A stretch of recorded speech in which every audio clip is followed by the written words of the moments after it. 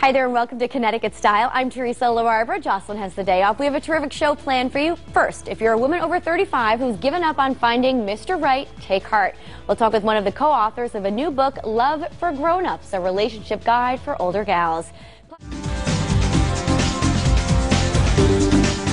If you're a woman over 35, can love and marriage still be in your future? The answer is absolutely yes. Just ask three highly successful women who met and married their true loves after they turned 35. It's the subject of a new book, Love for Grown-Ups, the Garter Bride's Guide to Marrying for Life when you've already got a life. Co-author Tish Rabe is here to talk about this relationship guide for women 35 and up. Yes. Welcome to the show. It's great to have you here. No, thank you for having me. So I think this is an important topic because sometimes there are women that kind of get left behind. Their friends are getting married, they're getting pregnant, yet they're still searching for Mr. Right.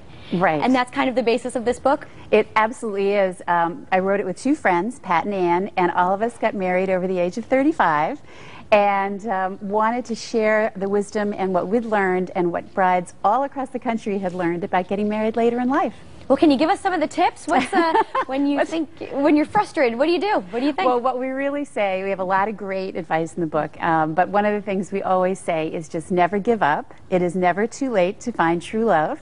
Um, a lot of our brides had sort of said, you know, I don't think this is ever going to happen for me, and indeed, that's exactly when it did happen for Probably them. Probably when you're least expected, least right? expected, yes. Now, I noticed you have a garter belt with Yeah. you. This is the Sisterhood of Garter Brides. Yes, this is actually a garter. Um, Pat and Ann wore the same garter at their weddings. They got married when they were over 35, and they shared it with their girlfriends. And this garter has been worn by brides all across the country who got married when they were 35 and over. So it's ready for the next bride.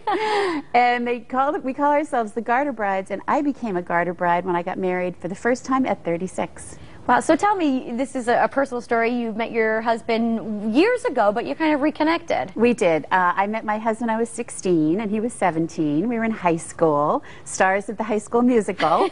and um, we reconnected after I actually went to a high school reunion. So the Garter Brides will tell you high school reunions and college reunions. Think about going. Really? I'm living proof. It works. All right. So talk to me about a, a long distance relationship. Does it normally work? Uh, There must be a new set of challenges. Well, there are. And one of the things about being a mature bride is that often you've got a job, he's got a job, uh, maybe you've got fa- kids, he's got kids. What you learn, and, and the tips are in the book, is you can really make some of this stuff work because you're older and more mature. A lot of our brides had long distance relationships, a few of them have long distance marriages. Now, is there a certain age group, if a woman is over 35, that they should be looking at or concentrating on, or is age nothing but a number? I think it's nothing but a number. Mostly, I'll tell you honestly, it's attitude. You know, don't give up, keep giving it a shot, go out on blind dates. Pat and Ann met their husbands on blind dates. So blind dates have kind of gotten a bad rap, but in the book we talk about looking at them as first dates and going out on them. All right. So, what's uh, the single most important thing a woman needs to remember when she's looking for grown up love? I think for grown up love, the Garter Brides will tell you that the most important thing is number one, don't give up. Uh, there's always a chance you're going to find that certain person.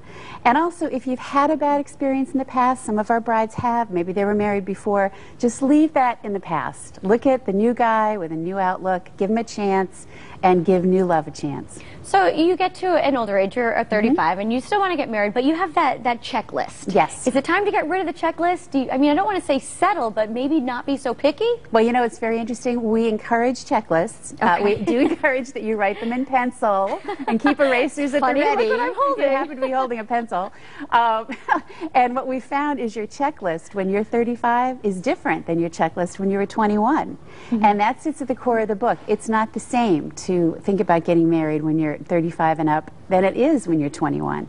So keep an open mind, but absolutely, if there's something that's on your checklist, it's on your checklist, and you have a right to know what you're looking for, Mm-hmm. and you know, keep it on there. But again, keep the eraser around too. what do you think about the new ways of dating, like online dating and the social media? How does that play in? Our brides have done very, very well with internet dating.